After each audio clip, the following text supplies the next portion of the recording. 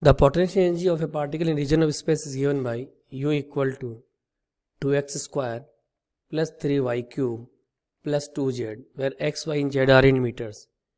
The magnitude of the x component of the force only we have to calculate the value of the fx. Acting on the particle at point P 1, 2, 3. fx is known as minus del u by del x.